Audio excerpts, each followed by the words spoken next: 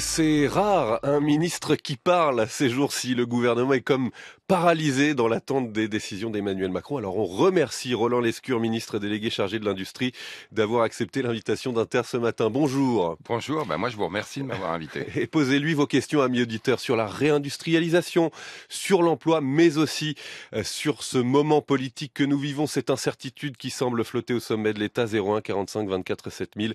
Application France Inter et franceinter.fr grâce à l'onglet Réagir. Commençons justement, Roland Lescure, par la rentrée politique. Vous avez droit bien malgré vous à un peu de rap de vacances puisque le Conseil des ministres qui était prévu hier a été reporté à la semaine prochaine sans explication de l'Elysée. Est-ce que vous en avez, vous?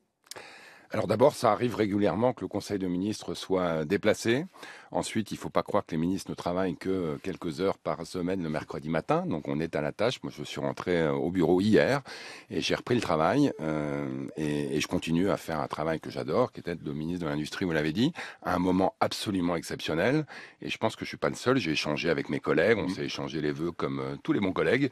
Et je pense que tout le monde est au travail. Le problème, c'est que tout le monde dans les ministères, euh, les conseillers et les ministres se demandent si Emmanuel Macron est en train de préparer un remaniement. Euh, est-ce que c'est sain Est-ce que ce fonctionnement est, est, est, sain pour les institutions? Écoutez, je suis pas sûr que ce soit particulièrement sain de passer sa vie à se poser des questions. Moi, dans la vie, j'ai une philosophie assez simple. Hein. Ce que je maîtrise, je le fais à fond. Ce que je maîtrise pas, je vis avec.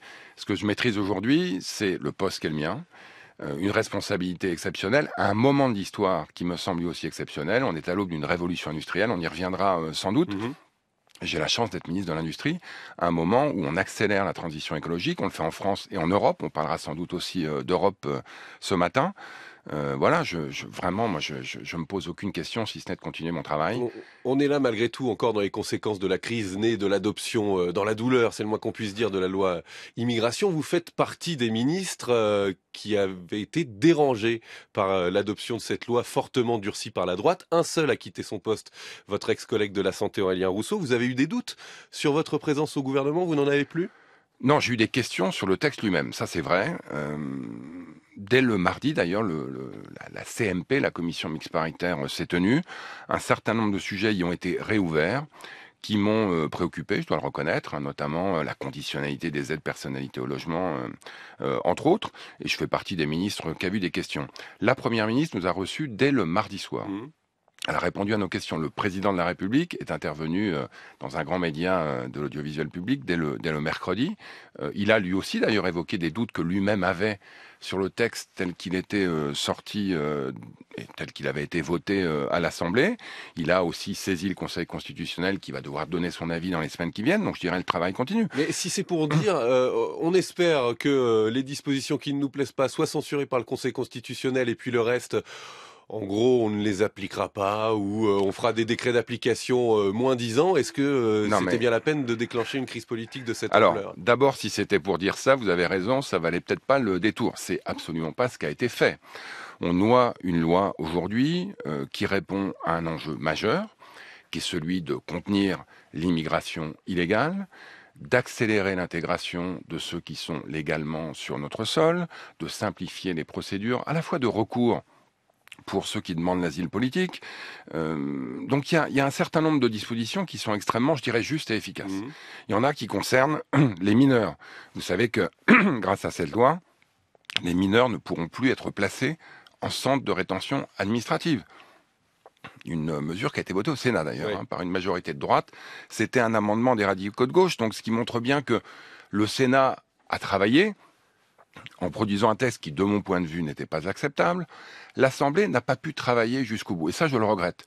Je le regrette parce que je pense qu'il y avait un certain nombre de dispositions qui auraient pu être discutées lors de la discussion en Assemblée mmh. qui ne l'ont pas été.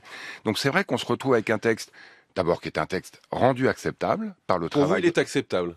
Bien sûr, il est acceptable parce que la Première ministre, le ministre de l'Intérieur et les parlementaires, moi je salue euh, à la fois Sacha Oulier, président de la Commission des lois, et Florent Boudier, qui était rapporteur général de ce texte, qui ont négocié. Sacha Oulier qui euh, a voté euh, contre ce texte. Hein, oui, et, et Florent Boudier qui a, qui a, voté contre. Moi, je pense que, qui a voté pour, pardon. Les, les, parlementaires ont voté en conscience. Ce qui est clair, c'est que ce texte, il a été adopté à une large majorité, et je le dis une fois, et on passera à autre chose, y compris sans compter les voix du Rassemblement national. Moi, ce qui me gêne, vous que je vous dise ce qui me gêne dans ce texte? C'est pas ce qu'on y trouve, c'est ce qu'on n'y trouve pas. Moi, j'ai vécu dix ans au Canada. J'ai été un immigré. Et un certain nombre de mesures qui sont dans ce texte sont déjà en œuvre au Canada. Vous ne pouvez pas arriver au Canada et dès le premier jour avoir droit à toutes les aides sociales. Mmh. Devenir canadien. Moi, je suis devenu canadien. C'est pas une sinécure, c'est pas anodin. Vous devez passer, par exemple, un examen à la fois en langue, français ou anglais, ils ont deux langues nationales, mais aussi sur la connaissance de la culture, de l'histoire, de la politique canadienne. Tout ça, c'est pas anodin. Mais au Canada, on a aussi des mesures pour accélérer l'insertion économique des migrants qui ont droit. Alors justement, vous aviez plaidé euh, pour euh, une, euh, le recours à, l'immigration. Vous avez dit on ne pourra pas réindustrialiser vraiment la France sans immigration, et vous êtes même allé jusqu'à dire qu'il faudrait 100 à 200 000 immigrés dans les 10 ans à venir pour compenser les départs à la retraite.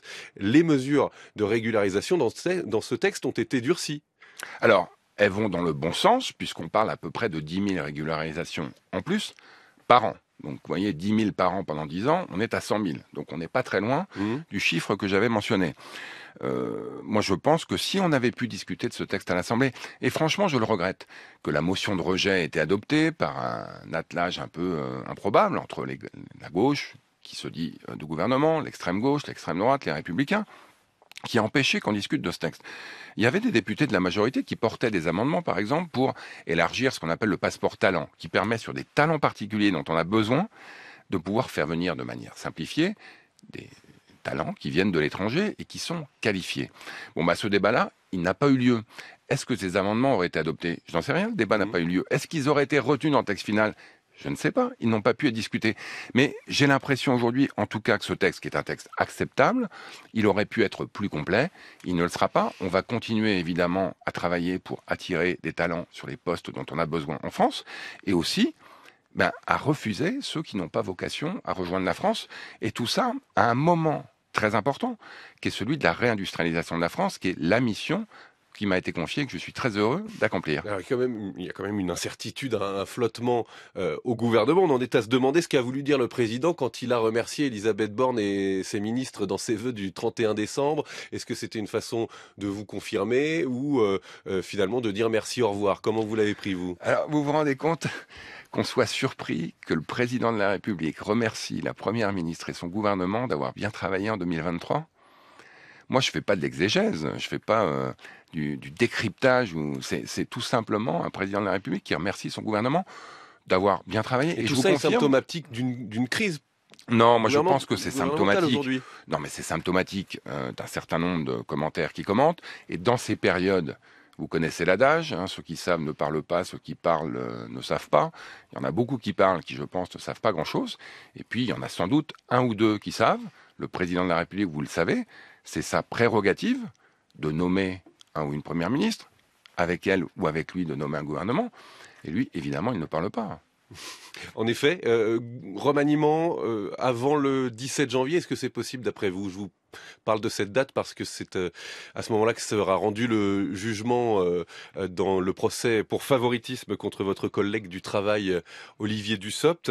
Dix mois de prison avec sursis requis contre lui. Est-ce que ça sert à quelque chose de remanier avant? Bon, d'abord, aucun commentaire sur évidemment une procédure judiciaire en cours, si ce n'est que Olivier Dussopt est un collègue exceptionnel qui a fait lui aussi un très bon travail en 2023, c'est le moins qu'on puisse dire. Il a eu son assiette bien remplie et il a, il a très très bien, très très bien livré. Euh, pour le reste, je vais, vous redire ce que j'ai dit il y a quelques minutes. Ce que je maîtrise, je le fais à fond. Ce que je maîtrise pas, je vis avec. Venons-en donc au sujet qui vous concerne en tant que ministre de l'Industrie. Avant d'entrer dans le détail sur l'implantation de nouvelles usines, sur la productivité, les voitures électriques, un mot du tableau général. Roland Lescure. Le chômage est reparti à la hausse. Deuxième trimestre euh, de hausse consécutive euh, selon l'INSEE au troisième trimestre 2023. Plus 0,2 points. On est à 7,4% de chômage. Le grand objectif d'Emmanuel Macron sur ses dix ans de mandat, c'est le plein emploi, donc c'est-à-dire autour de 5%. Est-ce que cet objectif est toujours réaliste? Bien sûr, il l'est plus que jamais, mais pour l'atteindre, il va falloir plus que jamais faire preuve de volontarisme, d'action et d'aller chercher des résultats. Donc vous l'avez dit, le chômage, il est un peu au-dessus de 7% aujourd'hui. On n'avait pas connu des niveaux de chômage aussi bas depuis des décennies. Mmh. Donc ça, c'est le verre à moitié plein. Mais pour aller à 5, il va falloir continuer. On fait face, on l'a entendu tout à l'heure avec Pierre Aski, à une conjoncture internationale extrêmement incertaine. On a des industriels aujourd'hui qui forcément font preuve d'un peu d'attentisme.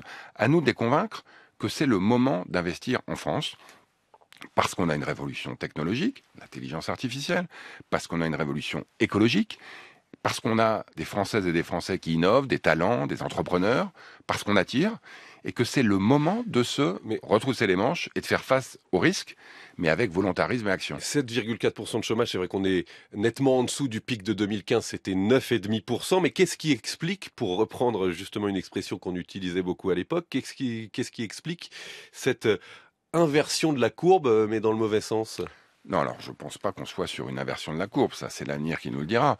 Ce sont des soubresauts pour l'instant. Non, mais c'est ça. Et puis, et puis évidemment, euh, à la fois la hausse quasi inexorable qu'on a connue pendant des décennies et la baisse, qui j'espère va poursuivre, qu'on connaît depuis quelques années, se sont toujours faites avec, je dirais, des hauts et des bas. Mm. La conjoncture, les incertitudes à court terme, telles ou telles entreprises qui s'inquiètent de la fin de l'année, qui font preuve d'un peu d'attentisme. Vous savez qu'en 2023, on a eu de l'inflation assez élevée. Mm. Elle était moins élevée qu'ailleurs, mais on avait quand même de l'inflation aux alentours de, 5%. Elle est désormais redescendue en dessous de 4 et j'espère que ça va continuer euh, à baisser euh, dans, les, dans les trimestres qui viennent, bah, tout ça, ça crée de l'incertitude. Et donc ça crée effectivement des soubresauts, comme vous dites, L'essentiel, c'est qu'on continue à travailler pour faire baisser le chômage. Ça va demander des réformes courageuses. Ça va demander aussi de continuer à inciter les entreprises à investir dans l'avenir. Alors justement, pour créer de l'emploi, Emmanuel Macron mise, et c'est votre mission, sur la réindustrialisation. 300 usines sorties de terre depuis euh, l'arrivée au pouvoir du président, pour 600 fermetures euh, sur les 8 années précédentes. C'est un rattrapage. Il reste encore beaucoup à faire. On est loin euh, d'être revenu à un niveau qui était celui de la France quand elle était une grande nation industrielle. Je crois qu'en termes d'emploi industriel, la France est 22e sur 27 dans l'Union européenne aujourd'hui. Et ça donne une idée de l'ampleur de la tâche. On a, euh, on a entamé un virage qui est celui de la réindustrialisation. Vous l'avez dit, on a des résultats, 120 euh, 000 emplois créés, 300 usines en net en plus par rapport à ce qu'on avait il y a 6 ans. Euh, quand on entre dans un virage, la meilleure manière d'en sortir, c'est d'accélérer. Et je pense qu'en 2024, ça va être le maître mot. D'ailleurs, le président de la République l'a évoqué lors de, lors de son discours des vœux. Euh, il faut surtout pas se reposer sur des lauriers qui n'en sont pas. Aujourd'hui, on a un début de réindustrialisation, il faut accélérer. Accélérer en continuant à attirer des industriels internationaux qui, plus que jamais, choisissent la France. Euh, dans le secteur de l'industrie pharmaceutique, dans le secteur des biens d'équipement, dans le secteur des nouvelles technologies. Il faut former, former, former. On le disait tout à l'heure, avec le boom démographique, des gens mmh. qui vont partir à la retraite, on va avoir besoin de créer plus d'un million d'emplois industriels, donc de former des jeunes hommes, des jeunes femmes dans l'industrie. On a besoin de trouver des sites industriels. Ça, c'est très important. On a annoncé en fin d'année 50 sites industriels clés en main qu'on va déployer dans les mois qui viennent pour qu'un industriel qui souhaite installer son usine, petite, moyenne ou grande, puisse avoir le choix de sites qui soient clés en main. Justement, Roland Lescure, au standard d'Inter, Frédéric, qui nous appelle de Pau, a une question euh, à ce sujet. Bonjour Frédéric, on vous écoute. Oui, bonjour Inter, Roland Lescure. Euh, bonjour. Oui, en fin de compte, vous venez de nous faire le, bilan euh, d'un échec de, quelques années, disons, de politique industrielle. Nos industries sont énormément aidées, près de 200 milliards elle dégage un déficit abyssal et euh, malgré tout, elle, délivre 80 milliards, disons, de, dividendes. Alors, moi, j'aimerais savoir où va, où va notre secteur industriel, parce que je, ne sais pas si vous avez un, plan, quel secteur aider, pourquoi, et surtout en, fonction de, de, quels besoins. Voilà, je ne vois pas le plan général, pour vous nous, le, nous l'esquisser. La stratégie industrielle de la France, est-ce que ce ne sont que les gigafactories, les grosses usines de, de batteries électriques qu'on voit par exemple euh, du côté de Dunkerque, ou est-ce que c'est plus large que ça? Non, c'est plus large que ça. Merci Frédéric. À il y a des projets industriels euh, extrêmement euh, dynamiques qui sont aussi en train de se développer. Euh, le plan, il a un nom, ça s'appelle France 2030. Il a été présenté par le président de la République il y a un peu plus de deux ans qui a présenté à horizon de France 2030 un portrait, à horizon de 2030, pardon, un portrait de ce à quoi la France devrait ressembler. Parce que là, je rejoins Frédéric, il ne faut pas partir dans tous les sens, il faut avoir des priorités stratégiques. Alors, les gigafactories en font partie. Pourquoi? Parce que, vous le savez, l'Union européenne a décidé de sortir du véhicule thermique à horizon 2035.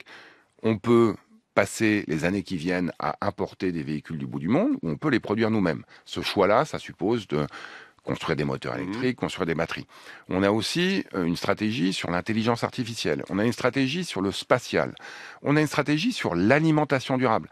On a en fait un certain nombre de piliers stratégiques très forts qu'on a choisis. On a de l'argent public, oui Frédéric, mais qui va être accompagné d'argent privé, 54 milliards d'euros. On en a depuis deux ans que ce plan existe, engagé la moitié, à peu près 25 milliards, qui sont des projets pour lesquels, c'est important, la moitié au moins sont consacrés à des petites entreprises, partout dans les territoires, donc pas seulement dans les Hauts-de-France, même si je suis bien content, je pense que le président de la région, Xavier Bertrand, l'est aussi, que la Haute-France retrouve des couleurs industrielles dans une région qui, pendant des décennies, a plutôt, je dirais, été à la peine de ce mmh. point de vue-là. Donc on a vraiment une stratégie industrielle extrêmement ambitieuse. Mais qui s'essouffle malgré tout. Je reprends les, mmh. les chiffres. Euh, c'est le cabinet de recherche Trendéo cité par Le Monde. 124 usines créées en 2021, 95 en 2022, seulement une trentaine en 2023, chiffre de fin novembre. Oui, alors d'abord l'année n'est pas tout à fait euh, terminée, hein, puisque les chiffres de décembre devront encore être intégrés. Et, euh, et ensuite, évidemment, ce qui compte, c'est que tous les ans, on crée plus d'usines qu'on en ferme. Malheureusement, il y a des usines qui ferment. Mais plus on en ouvre, plus évidemment le solde positif va permettre de créer de l'emploi, pas seulement directement, parce qu'un emploi industriel, c'est entre 3 et 4 emplois induits dans les services, dans le commerce, dans les services publics. Ça fait des décennies qu'il y a des territoires qui sont désindustrialisés, dans lesquels on a perdu espoir, dans lesquels la colère est montée d'ailleurs. Mhm. Moi, je suis persuadé que l'industrie, c'est une arme anti-colère, c'est une arme anti-rassemblement national, il faut le dire.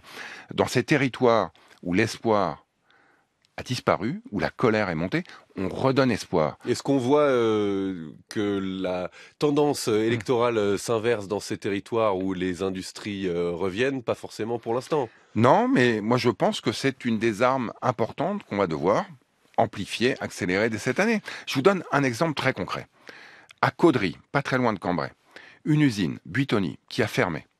Nestlé annonce la fermeture, il y a maintenant huit mois, d'une usine suite à un scandale sanitaire, on s'en souvient, des pizzas surgelées qui, avaient, qui s'étaient traduites par euh, le décès de, quelques enfants, malheureusement. Euh, on a trouvé un repreneur pour cette usine. J'y suis allé il y a huit mois les gens étaient désespérés, les gens étaient furieux, les gens étaient en colère.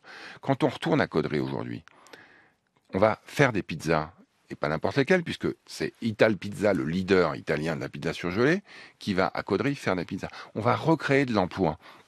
On va redonner espoir. Mais les gens aujourd'hui, ils sont contents de nous voir venir.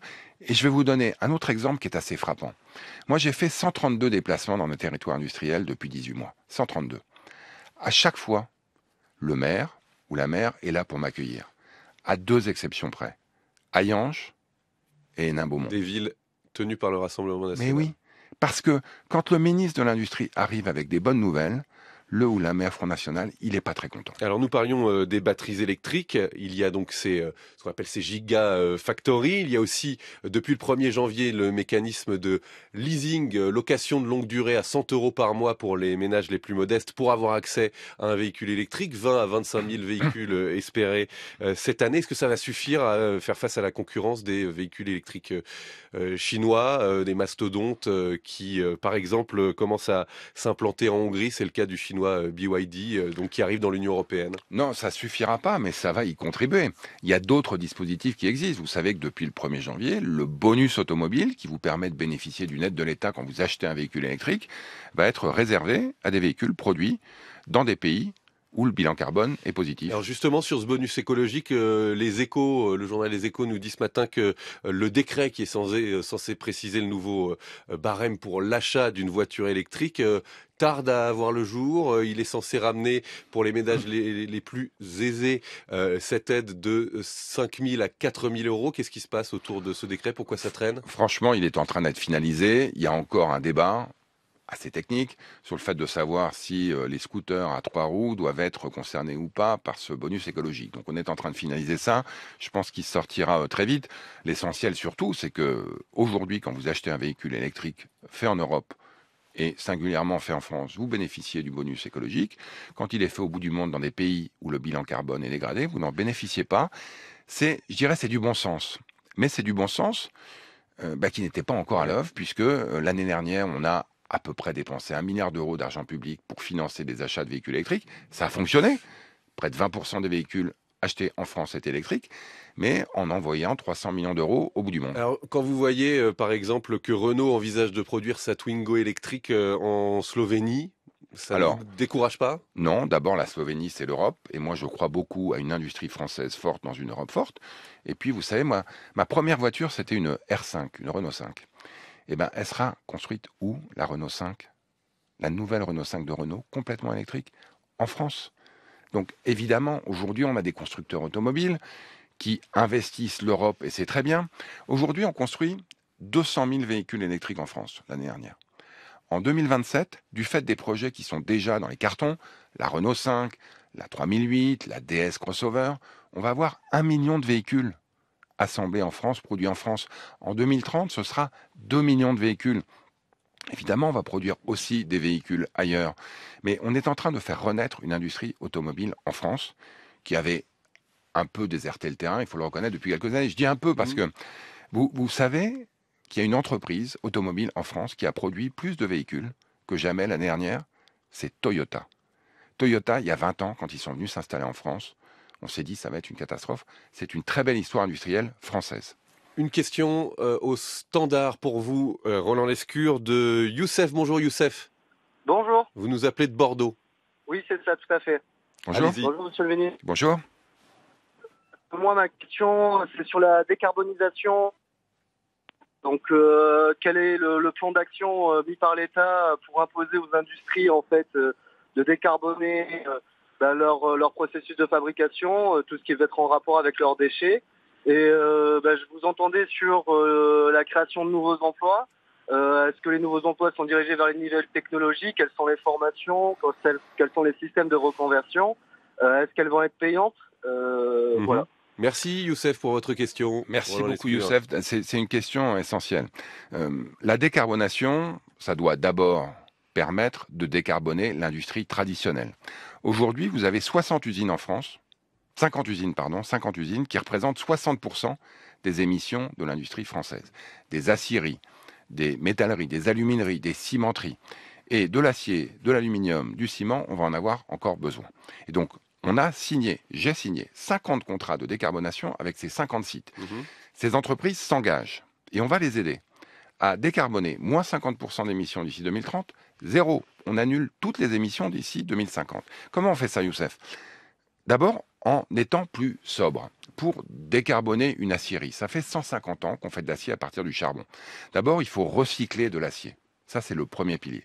Ensuite, il faut remplacer le charbon par l'hydrogène. Et ensuite, il faut capter le carbone. Eh bien, Arcelor, qui est un des grands aciéristes mondiaux, s'est engagé dans un contrat signé avec l'État à décarboner. Mhm. Et puis le deuxième pilier, il est tout aussi important, c'est les industries de l'avenir, c'est les industries de la décarbonation. c'est l'hydrogène, c'est les pompes à chaleur, c'est les véhicules électriques. Et là aussi, on accompagne ces entreprises pour venir s'installer en France. Mais Youssef a raison. Le débat majeur, le défi majeur pour tout ça, ça va être les talents la formation. Et donc il faut qu'on redirige les formations, notamment les lycées professionnels, l'apprentissage vers cette technologie de demain, les ingénieurs. On n'a pas assez d'ingénieurs en France, il faut augmenter le nombre d'ingénieurs on va le faire. Il nous reste 40 secondes, Roland Lescure. Une question d'Isabelle sur l'application de France Inter. Où en est-on de la relocalisation de la production de médicaments? Elle avance. On a euh, doucement. Non, non, elle avance, elle avance vite. Évidemment, installer une usine, ça se fait pas avec euh, un clatement de doigts, mais on a des projets très concrets de relocalisation du principe actif du paracétamol, par exemple, euh, dans l'Isère. On a l'amoxicilline, on a GSK, qui est un grand laboratoire anglais qui s'est engagé a presque doublé sa production d'amoxicilline d'ici quelques années. Donc non, non, elle avance. Euh, je pense qu'on a vraiment besoin ensemble de voir ce qui marche en France. Il y a pas mal de choses qui fonctionnent et on va continuer en 2024. Un mot très rapide sur euh, l'entreprise de lingerie Le Jabi, placée en redressement judiciaire, 55 salariés à côté de Lyon, à Rieux-la-Pape. Euh, vous allez suivre ce dossier attentivement? Bien sûr, comme tous les dossiers d'entreprise en difficulté, on parlait de Butoni tout à l'heure. L'entreprise a besoin de six mois pour se redresser. On n'est pas dans une logique aujourd'hui ni de fermeture ni de licenciement. Elle a besoin de temps, se mettre à l'abri de ses créanciers. On va suivre ça de très près, évidemment. Roland Lescure, ministre de l'Industrie, merci beaucoup.